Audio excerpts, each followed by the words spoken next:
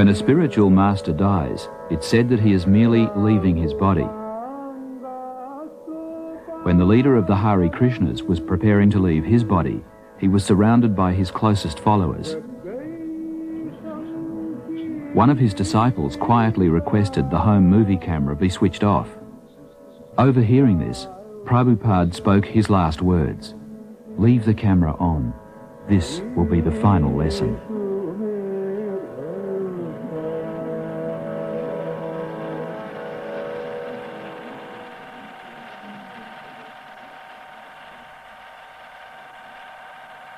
This was the last of many lessons that were to draw thousands into a spiritual odyssey. Some would learn well, going on to lead religious lives, while others would become disgraced by scandal and vice. The extraordinary Hare Krishna story began in India five centuries ago. Holy scriptures prophesied a reincarnation of the Hindu god during a full eclipse of the moon celebrations marked the birth of a child who fulfilled every detail of the prophecy. The infant was proclaimed the divine incarnation of Krishna and named Lord Chaitanya.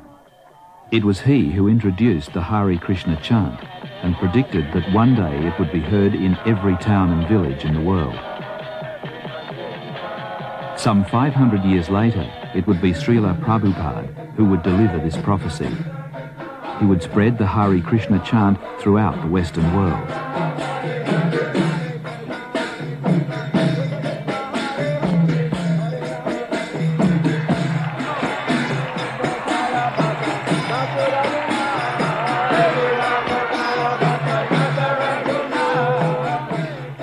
In wealthy Western countries, the Hare Krishna's austere monastic life appears strange and unappealing. Some wonder if they're really seeking better life or hiding from reality.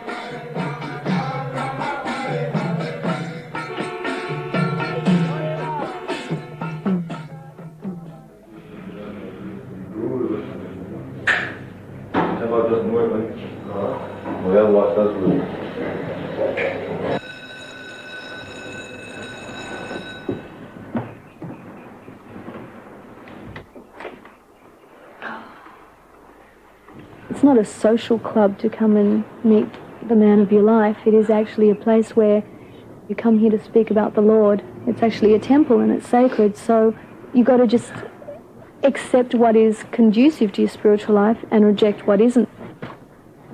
I was sort of practicing celibacy before I was a Hare Krishna anyway. It wasn't a new thing for me.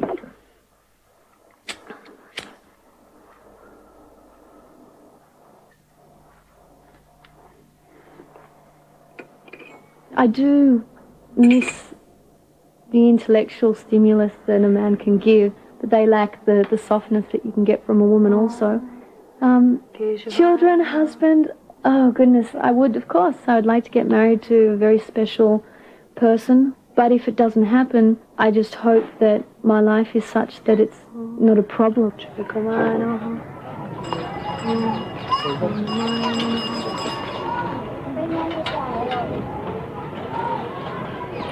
The main requirement for becoming a Hare Krishna is one's sincere spiritual interest, which means the simple meaning, Oh Lord, please let me serve you.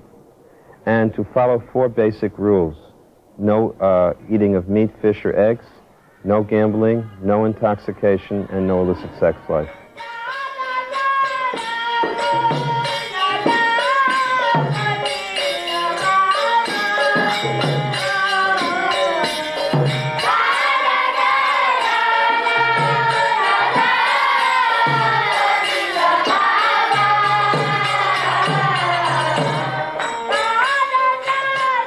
If one can follow these four practices and regularly chant the Hare Krishna mantra every day and try to lead a saintly life, then he can become a devotee of Lord Krishna.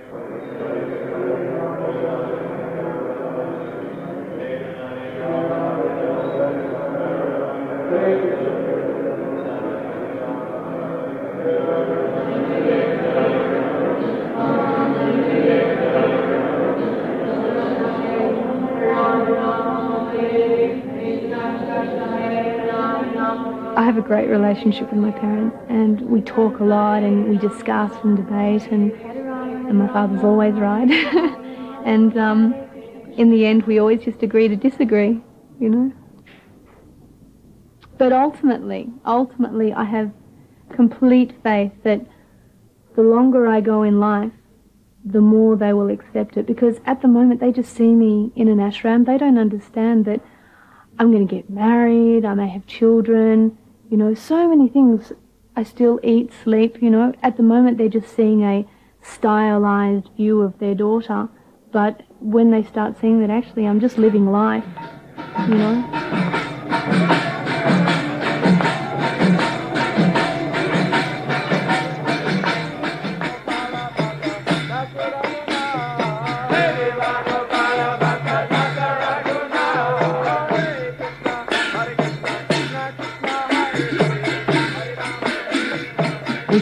Change Kim's mind, but she's pretty set in her ways and uh, she won't listen to mum and dad.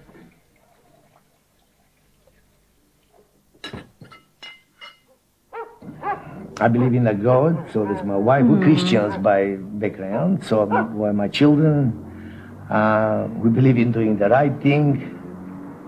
Um, we don't go to church on a Sunday and ask God to forgive us for all our wrongs and then go out and. I try not to do wrongs know, if I can. Do the wrong do thing again. We just do the right thing. We always do the right. We think we're doing the right thing. Well, this we're trying to do the right thing, but. Uh, well, we're trying to do the right. That's thing. right, but no, we're not extremely religious. But on the other side, we're not. Uh, fanatics. Well, we would never be ever fanatics. No. But uh, we do believe in a in a God and I don't believe in the extremes where you forget all about today's life and all you do is because of tomorrow uh, somebody has promised you a better a better life tomorrow. Now you got to give this life some kind of a chance. You got to live this life as well as the next one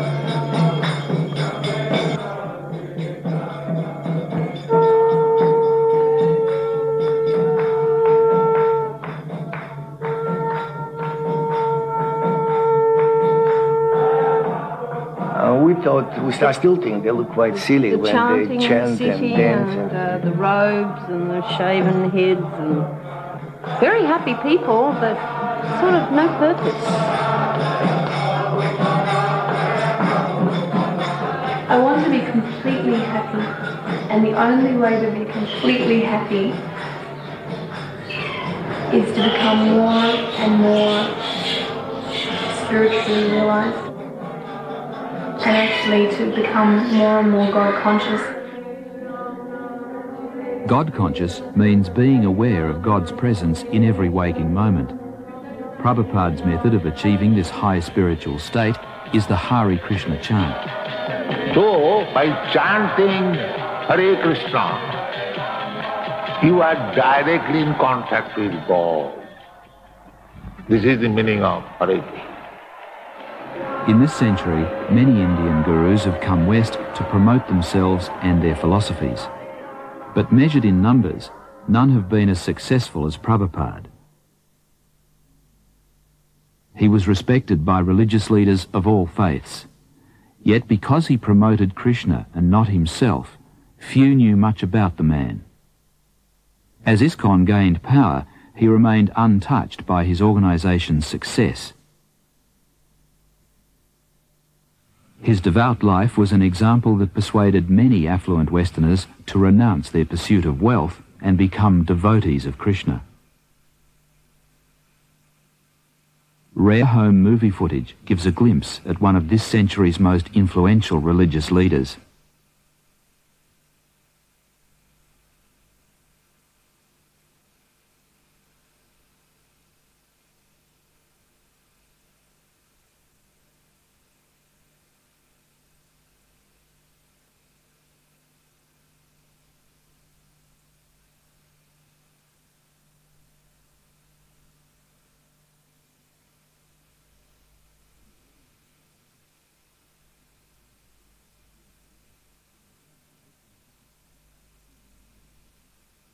In the early 1970s, after half a century of obscure religious work, the aging Prabhupada suddenly emerged as an exalted leader of people.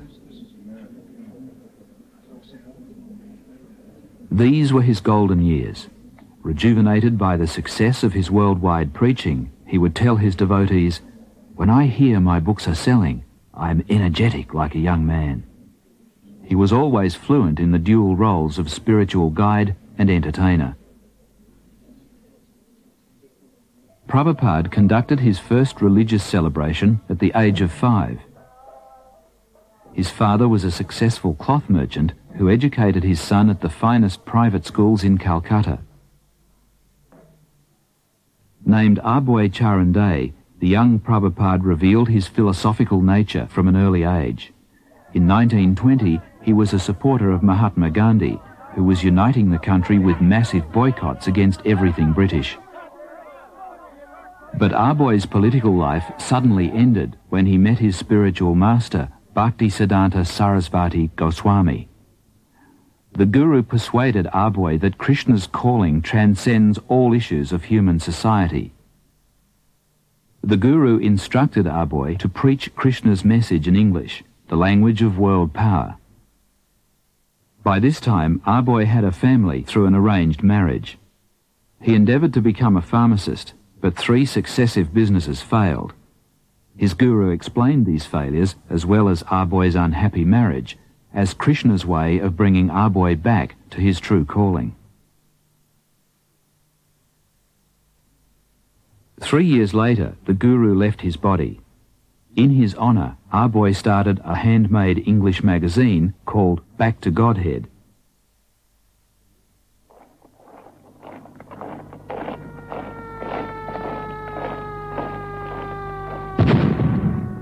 The war provided ample subject matter for his commentaries on the ills of a godless society. Attracting a sponsor, Abhay drew up an international charter for the League of Devotees, dedicated to a God-centered life. But few were interested, and he ended up with only one disciple. In his 60s, Abhay finally left family life and accepted the renounced order. His spiritual name became Bhaktivedanta Swami. Later, they would add the name Prabhupada, meaning he at whose feet the masters sit. Secluded in Vrindavan, Prabhupada began the enormous task of translating the Vedic literature into English. Unbeknown to him at the time, ancient Vedic ideas like reincarnation and vegetarianism would soon be proclaimed by the New Age movement in the West and within a decade he would be admonishing his multitude of disciples. Distribute books, as many as possible. You guys want a really amazing book on reincarnation. Do you study that at school? No. No? So you don't, do you have any science lessons? Because this is scientific proof on reincarnation, life after death. Mm. Whoa, what do you, what do you want to be in your next life? Never thought about it. Hi there. Are you guys interested in meditation, yoga, or anything like that? No? Sometimes I never thought about you, it. You meditate? Pray. You pray? Oh, that's nice. Who you pray to? To Jesus? Yes, Jesus. That's lovely. Anyway, this is a book all about mantra meditation. It's very similar to prayer. Um, we're just handing these out today to all the boys from Randwick High.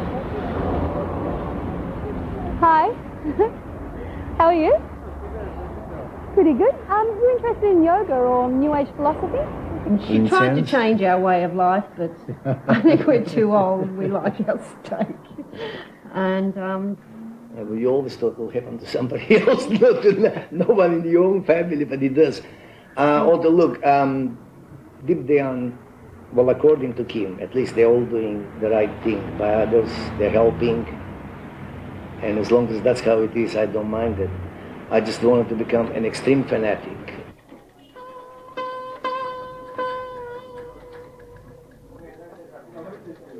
Kim, we should really update your file. Um, photos first. Your hair is longer. Definitely, I know. Your hair is longer. There's another shot here. Also, we've got to update your biography. If, if a That's commercial got to be comes done. up or if And acting work comes got, up, uh, I do that. Measurement. But I don't There's an audition. advertise McDonald's or anything like that. Go to Grundy. It's not like dribbling in your sleep life. You know, you've got to be conscious while you're living. You have to actually have a set of goals and go for it. And so I have a set of goals, you know. On Tuesday, I want you to I want you to read the brief. It's for a character. Kim is saving for a trip to India. She considers India her true spiritual homeland, even though her Australian background makes her a stranger to the poverty and the social upheaval which have spawned centuries of dedicated religious figures. Prabhupada was part of this tradition. In post-war India, he was barely surviving, sometimes unable to pay his bills. It was uh, somewhere in the month of February 1956 that I first met uh, Prabhupada. He came to my press for uh, getting the magazine printed, Back to Godhead. I found that it was not very easy for him to collect money.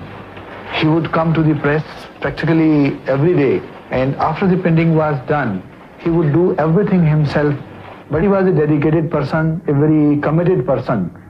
And uh, at the times when he was not in a position to pay the bills, I would ask him, why are you running this? Why don't you stop it? He would say, no, it is my mission. And one day Surendra Kumar, you will see that I will succeed in my mission. In 1964, Prabhupada completed his English translation of the Srimad Bhagavatam, Volume 3. 57 more volumes remained. The many slow trips to the printer gave him time to realise why his people seemed to be turning away from religion. Many Indians had become imitators of things American, even adopting the rationalism of the industrialised West.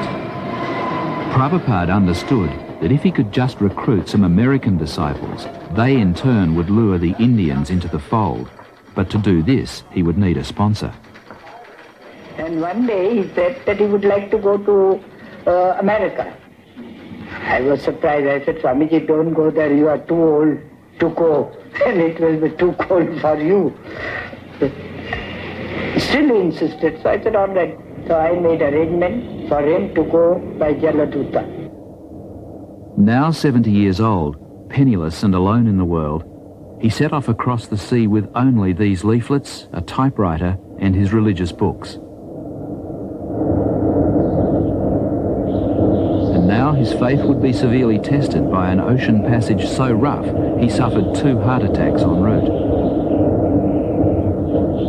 On a morning in September 1965, he entered Boston Harbour. His diary from that day reads, My dear Lord Krishna, you are so kind upon this useless soul, but I do not know why you've brought me here. Most of the population here is absorbed in material life. How will I make them understand your message? I can simply repeat your words. If you like, you can make my power of speaking suitable for their understanding. I have no devotion, but I have strong faith in the holy name of Krishna. Signed, the most unfortunate, insignificant beggar, A.C. Bhaktivedanta Swami. Prabhupada had one letter of introduction to a person living in an out-of-the-way town in Pennsylvania. The Swami was a friend of my husband's father, uh, Mr. Agarwal, uh, in Agra, India. And he asked me to sponsor the Swami, and that, that's what I did. And that's why he came to our house in the middle of the night one night. He stayed with us for a month in Butler, and I learned over the time, I learned to love him as I would a father-in-law. He was a, a very sensitive and kindly type of person. The Swami came with so few possessions. He came with the clothes he had on his back. He had a typewriter and he had his books. And he had a bag of cereal. Imagine coming to a country on the other side of the world with so little. And yet he came with so much in himself. The Swami brought a pan with him in which he cooked his food, and in fact cooked our lunch too. Our little boy was only six months old when he came, and uh, the Swami was there when Bridge first stood, and he laughed and laughed to see him stand up. When he laughed, he was just oceanic, oceanic. He just seemed to take in the entire universe when he laughed, and he laughed a lot. Prabhupada realised that Butler, Pennsylvania would not be the most suitable centre for launching a new religion. He moved to New York to spread his message of non-materialism in one of the wealthiest cities in the world. Almost immediately, his typewriter and translating equipment were stolen. He later wrote, I came to America physically unfit and at the fag end of my days, but I always felt the presence of my spiritual master. Historically, Prabhupada was in exactly the right place at the right time. In America, it was a decade of discontent about Vietnam, about racism and human rights. Disillusioned young people were flaunting their counterculture. Students and intellectuals were breaking away from the establishment and seeking alternatives. And all this just as Prabhupada arrived on the scene. He was obviously a very distinguished scholar, and I became very uh, curious, almost astonished as to how someone of his stature, he looked very much like an aristocrat, could be living and residing in the Bowery, the Skid Row of, of uh, New York. And afterwards, I approached him to speak. I was standing, and he was sitting on his small dais, so he was looking up at me, and he had the look of a very happy, innocent young child. And I could see that he actually had all the time in the world for me. He wasn't short of time. I asked questions he would answer. Then after some time, he moved to a somewhat better neighborhood on 2nd Avenue. We helped him rent a small storefront there, and he had an apartment in the back. And within a few weeks' time, this little storefront on 2nd Avenue, on the Lower East Side of New York, which was then populated by thousands of young hippies, had been transformed into a beautiful Krishna temple. Allen Ginsberg, I remember, began to come at that time. When he moved down the Lower East Side, I thought that was a stroke of brilliant social judgment because traditionally Swami's yogis and masters all moved uptown to the rich and were sponsored and funded by the rich. And you would find Krishnamurti living in elegant apartments on the Upper East Side with drawing rooms and French furniture. And here was Bhaktivedanta, like in the depths of Calcutta, where the hippies were and where, where the acid heads were, and the freaks and the amphetamine heads and the meth monsters. So it seemed like he was actually bringing some kind of ray of song and light to uh, the right place, the lower depths where it was needed. And where, and of course, the Lower East Side was the intellectual center in certain respects, in art and in uh, advanced spiritual vibrations, particularly in the 60s. Prabhupada brought Krishna consciousness into the public eye by chanting in the parks, giving free meals and distributing his enduring Back to Godhead magazine. New Yorkers soon joined in. This guru from the East was offering what young Americans were already pursuing, a higher consciousness. And this is what the chant is really intended to do. It's to take you off into eternity. I started chanting in July. I was taking, I was still taking LSD at the time, but uh, he was against LSD. He said, uh, I told him, what do you think of my taking LSD for my spiritual, for spiritual realization, expanded consciousness? I was interested in, in staying high forever, as it were. Uh, he says, oh, he says, that's not necessary. He said, your spiritual life is already here. He said, you don't need to take anything for your spiritual life. And I knew he was right. And he had that exalted state of consciousness. I sensed it. And I knew he didn't take anything. And I knew that I wanted this state of consciousness. And that he could teach it to me. The shopfront temple on 2nd Avenue soon became an exciting place where people brought their friends to get high on chanting and to watch the Swami perform bizarre rituals.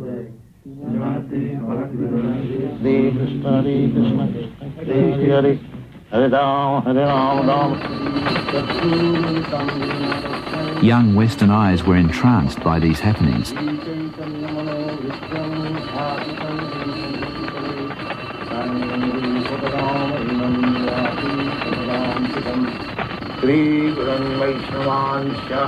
श्रीरूपं साकुजातं श्रीकृष्ण कृष्ण कृष्ण हरे हरे हरे राम हरे Ram Ram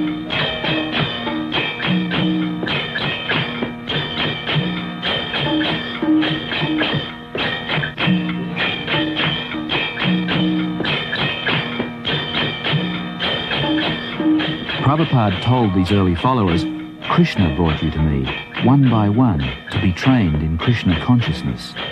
Now I can see it as a miracle.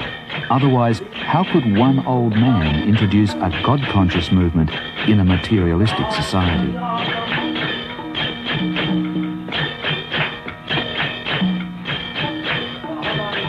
Sometime in the spring of 1967, people handed me clippings from New York newspapers saying that there was a Swami in uh, New York City. So I went to New York to look up this person and his movement. My first contact was uh, was with disciples apart from Bhaktivedanta Swami, and uh, I was I was frankly somewhat disappointed by by the disciples. They uh, they seemed to be uh, not very informed about what they were doing. They were unclear about the whole thing, uh, and yet uh, yet they were were terribly serious and terribly devoted to to what they were they were about. And I.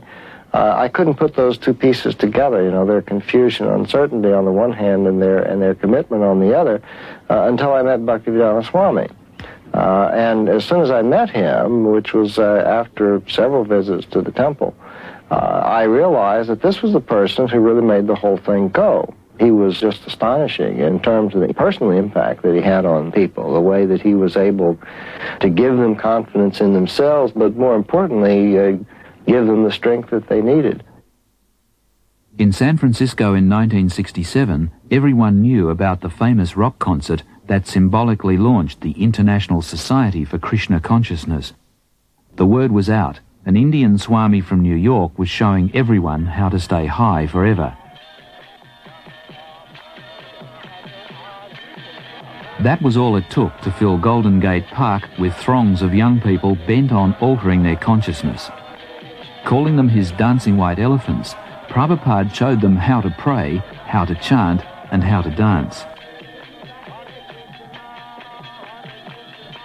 Prabhupada used this instant success to expand the ISKCON organisation. London was his first target.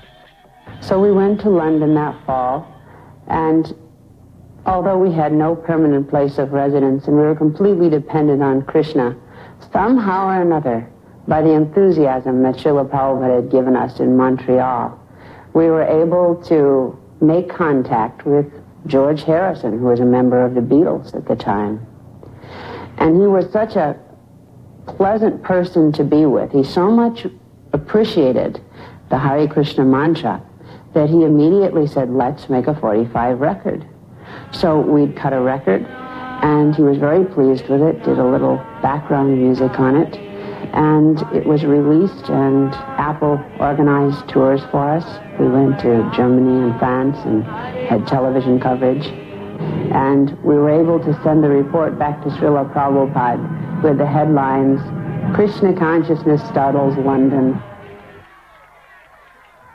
Soon, shaved heads and orange robes were appearing everywhere as pop stars and celebrities added fuel to Prabhupada's fire. For the next two decades, Krishna consciousness would ignite the continent, from London to Moscow, from George Harrison to Boy George. Krishna, Krishna. Hare Hare Hare Rama Hare Rama Rama Rama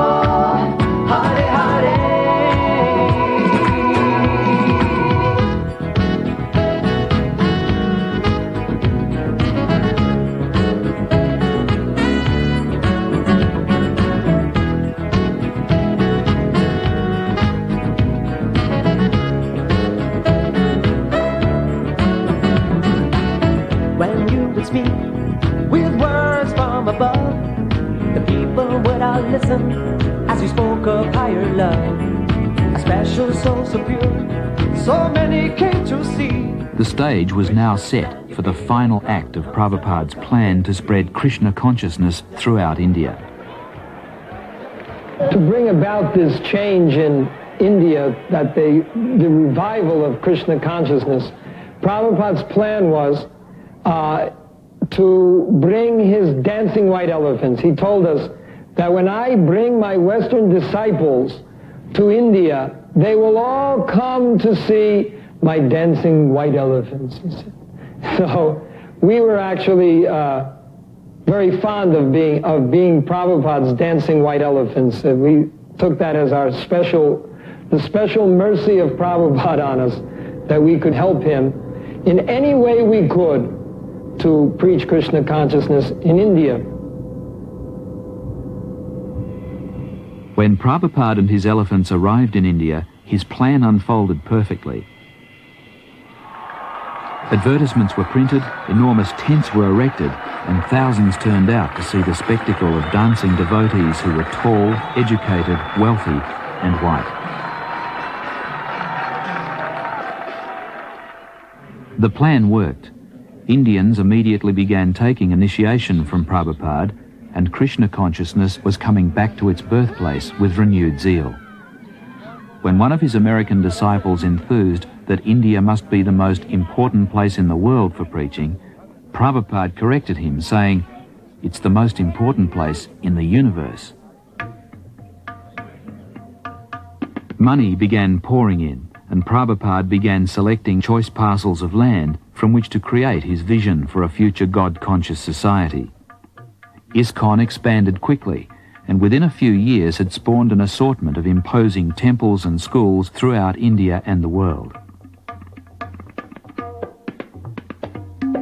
By 1976, ISKCON membership had grown to over 100,000 in 40 countries, riding the wave of the New Age movement. Indian religious festivals were attracting throngs of devotees in most major Western cities. It appeared that Prabhupada was fulfilling Lord Chaitanya's prophecy of 500 years ago, that the holy chant would be heard in every town and village in the world. All the while, Prabhupada remained quietly in the background, giving all credit to Krishna.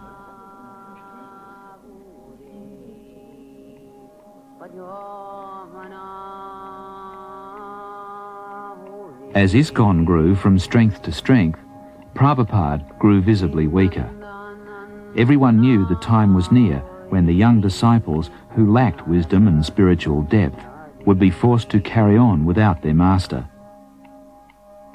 They followed him closely around Vrindavan, hanging on every word as he used his last days to re-explore this countryside, the historic playground of Krishna where even the dust is holy.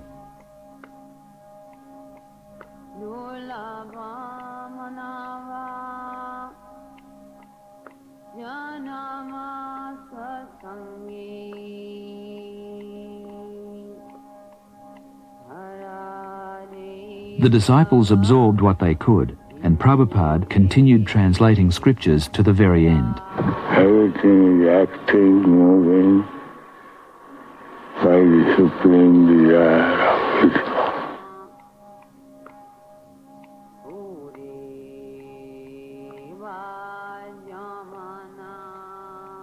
Prabhupada's grace, even in the face of death, could be enough evidence of his spiritual authenticity. But the Hare Krishnas point proudly to their master's saintly lineage, which goes back 5,000 years to Lord Krishna himself. Krishna's teachings have been handed down by an unbroken chain of acharyas, distinguished masters who passed on the holy word for a hundred generations before the invention of writing. And it's this unbroken line of gurus upon which ISKCON bases its claim to authenticity. Before his death, Prabhupada tried to ensure the survival of his religious society by appointing 11 disciples to carry on the work. But the new gurus quickly disagreed about everything from clothing to philosophy. ISKCON's governing body soon had to remove six of them for sex, drugs and other scandals. For example, this man was jailed for machine gunning a car dealership in an alcoholic rage. This man conducted a public affair with a teenage girl while mismanaging ISKCON's multi-million dollar book business. People do not know what is ecstasy. Happiness in the material world means that there is material misery and you some, somehow or other you minimize it. The living entity is by nature an enjoyer. This man's outrageous personal life included a flaunted homosexual affair. In this material world, is not the proper process. And Prabhupada was never under any illusion that he would remain forever in uh, uh, this world with us, but he said, my instruction will remain. And he trained us from the very beginning to follow his instruction and to use our individuality to execute his instruction for the glorification of Krishna. This guru used his individuality to execute two of his enemies. His devotee hitman piously chanted the holy names while stabbing his victims.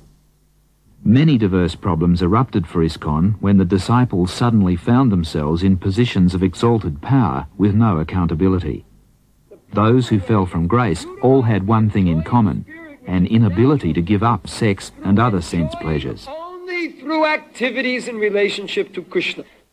Sex desire and sex, illicit sex life is the most difficult thing to overcome anywhere in this universe. You personally found it difficult? Yeah, I fell down. I, I uh, engaged in illicit sex. I succumbed to my lusty desires by having sex with a man. And every action that you perform in this world has a reaction. And as a result, uh, we had to ask them, either they resigned or we had to ask them to, you know, leave their positions. I think I was very fortunate because I was immediately um, asked by Srila Prabhupada to take an active role in uh, leading our society, and I was always engaged fully, and I, I had no time to think like that. And after this whole incident, you know, where I could no longer continue in that position. And unfortunately, our society had no experience in how to deal with a devotee who is in a very high position, who can no longer remain in that position. They don't know really what to do with them. You know, what, what do you do with them? You know, what do you do with me? What ISKCON did was simply sweep their deposed leaders under the carpet. The Central Committee struggled to rebuild internal order, while the devotees were kept occupied with bigger and better book promotions. The spiritual world, the soul, God, and the future. These topics and more in the Srimad Bhagavatam, written 3,000 years before the Dead Sea Scrolls in the oldest language known to man, Sanskrit now in English at Hare Krishna centers everywhere.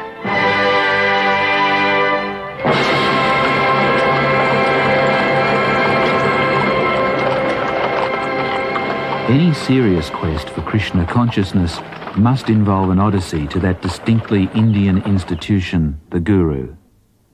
A Guru means one who has gained an enlightened spiritual state and who can help his followers achieve the same. The enlightened follower in turn becomes guru, and so the chain of teaching is handed down across the generations. The guru phenomenon stretches back into India's ancient past, providing the continuity with history which is so highly valued today. Now Kim's made her pilgrimage to Vrindavan to find out if she's ready to become initiated by the guru of her choice. I hope to be initiated by Tamal Krishna Maharaj whenever he thinks I'm ready, if uh, I'm ever ready. I think he thinks that materially I'm okay, but spiritually I'm a schlep, so we'll have to switch those two around. Part of the, the torment that I experienced after I left was the fact that I felt I had betrayed the trust of all these thousands of, of people who had put their faith in me.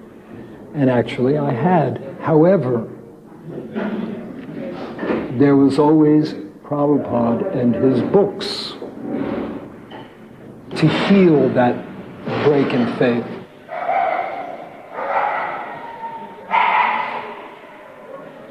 I'm 100% sure that being Hare Krishna is the best thing I could be in life because it makes the most sense to me.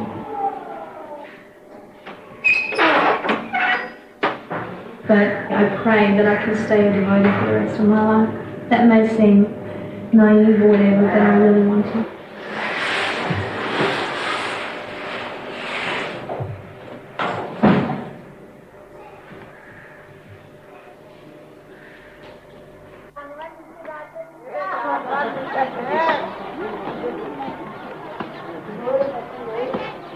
In the holy city of Vrindavan, ISKCON carries on their tradition of giving free meals to the local community.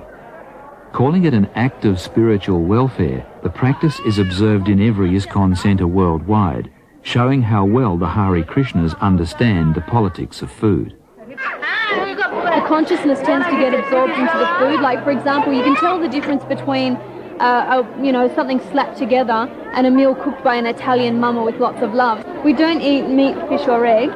We avoid garlic and mushrooms. I mean, there's sort of, there's some basic reasons why we avoid those. Garlic makes you really passionate. With the Hare Krishnas, everything we do is conducive to the spiritual life, so even our diet's conducive.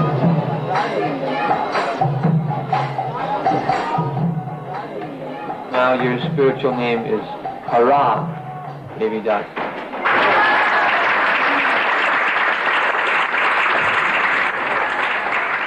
The cultural expression of being a woman in the Hare Krishna movement is far more natural and conducive to the way a woman is anyway.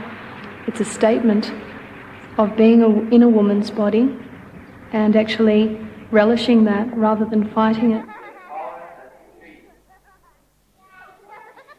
Women are guru, but they're guru to their children, and that is just such an amazingly great responsibility.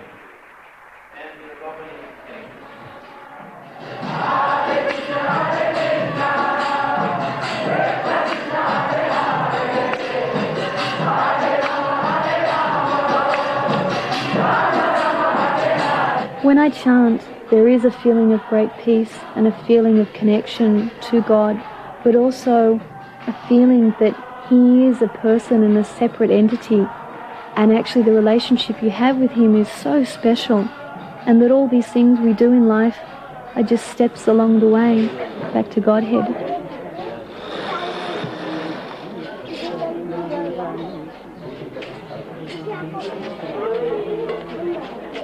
I think the one thing that people strive for in life is happiness. And, and the point is, is I'm happy because life has meaning.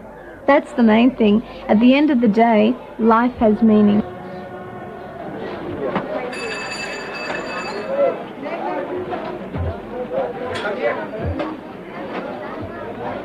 Thousand for this?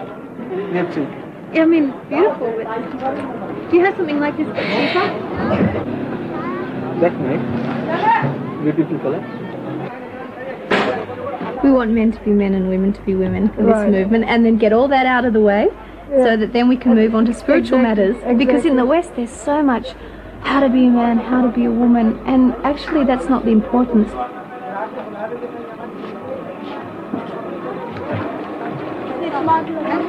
For many young Westerners, dissatisfied with Christianity and materialistic values, the attraction of the East lies in its promise of enlightenment, a simpler life, and a personal relationship with a guru and with God.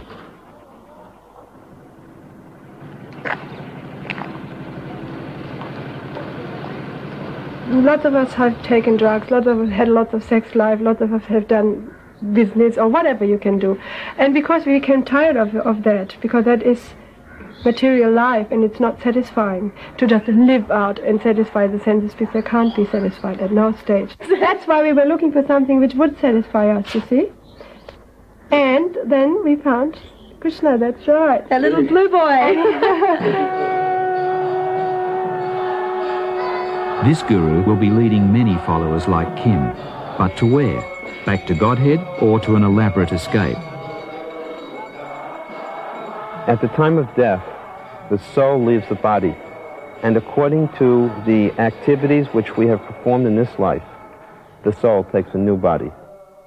If you make your activities God conscious and you remember the Lord at the time of death, then your soul will be transported back to the kingdom of God. On the other hand, if you have more worldly desires, then you take another birth according to those desires. It may not be as a human. You have to, you know, form a relationship with a guru, find somebody that you really feel that you can have such a such an important relationship. It's more important than even who you marry as your guru. It's an eternal relationship.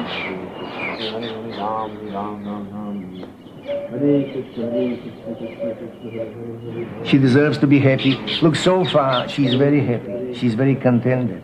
She could have been doing a lot of other things that young people do these days, such as drugs and, and, and God knows what else. So, Hari Krishna or no Hari Krishna is still better than many other things. I just want to say, if somebody thinks we're brainwashed, open your eyes a little. but that's Don't just make such a, a generalization about who and what we are. At least take the time to see what we're all about, and not just us. Check out what black people are like, and Muslims, Yeah. and, and, and all different walks of life, and see for yourself. It's actually a wake up process. You know, to say, look, you're not alone here in this jungle. You know, here we are. Somebody has woken us up. Please come with us. Don't, don't, you know, be all on yourself in the dark. Come, come with us. Come in the light. Come to the light side, to the sunny side. Be with God again, you know. and God, you know, I have nothing against Christians. I just don't like fanatical people. Maybe I should have said I, I'm not a fanatic in that sense. But I, it's, it's very nice. Enthusiastic, not fanatic. I'm just uh, in love with God, I think. In love with Krishna. The more you chant Krishna, Krishna, Krishna, the more deeply satisfied you become. And one of the byproducts is that you lose your taste for material, mundane pleasures, and you develop spiritual taste. Actually, I'd love to be old right now so that it's all in the past and I'm actually beginning to enjoy the fruits of the initial austerity.